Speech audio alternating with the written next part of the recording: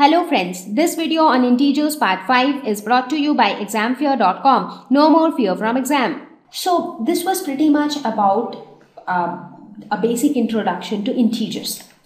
Now let's look at this one. We have two kids and you know they, they one of them look quite happy with the score in his exam but the other one looks quite sad. So now these two people, let's say that you are playing a game where you have teams and each team consists of two people. So in this but in this particular team which we see on the screen, there is one boy who seems to be very happy and there is another girl who is kind of sad.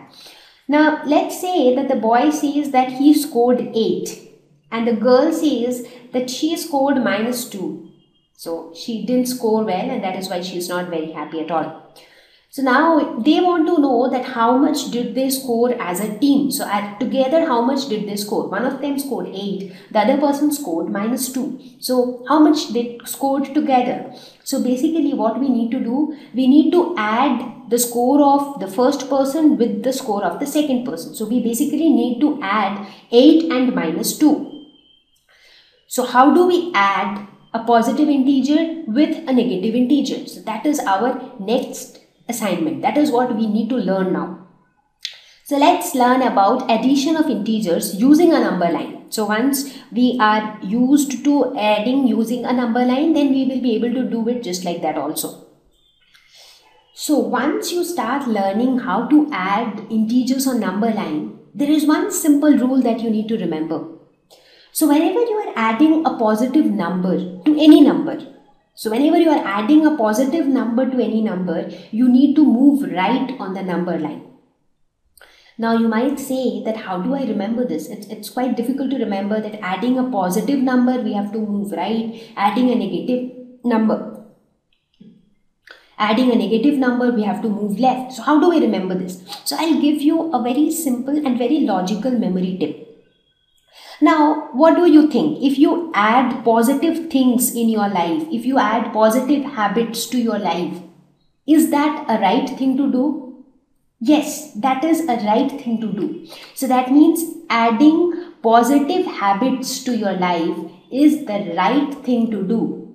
So that's how you remember this. That is add positive number move right. So whenever you are adding a positive number, you are basically adding positive habits to your life. And as in adding positive habits to your life is the right thing to do. So you move right. So this is how you remember this entire thing. So now let me take an example. So let's say that you have a number minus 3. So let's say you have a number minus 3 and you are adding plus 2 to minus 3. So you have to find out their sum. That means you have to add minus 3 and plus 2. So since you are adding a positive number plus 2 to minus 3. So that means you are currently at minus 3. So where will you move since you are adding positive 2? So adding positive numbers to your life so if you are adding positive habits to your life, that's the right thing to do. So you will move towards the right. And how many steps towards the right? You would move two steps. So one step and two step. So where have you arrived? You have arrived at minus 1. So this shows that minus 3 plus 2 is equal to minus 1. Pretty simple, right? Just one simple tip to remember that add positive habits to your life. That's the right thing to do. That's it.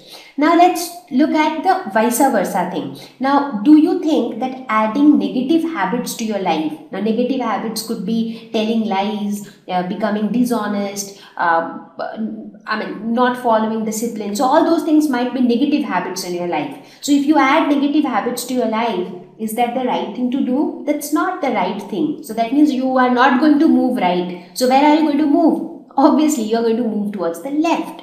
So in this case also, let's take one example. So let's say that you have a number, say minus 3 again you have the same number minus 3 but this time you want to add minus 2 to minus 3 so basically you are adding a negative number to an existing number. So in this case which side will you move? You will move towards the left. So from the same number minus 3 you take two jumps towards left. And where do you reach? You reach at minus 5 so therefore the sum would be minus 5 in this case so this is how we learn addition of integers on number line. Thank you. Please visit examfear.com for free quality education. You can learn with a simple four step learning process wherein you can watch video lessons, you can ask your questions, you can refer notes, and you can take a free online test. We have content for class 6 to 12 on physics, chemistry, mathematics, and biology along with practical videos. So please subscribe to our channel for daily updates. Thank you.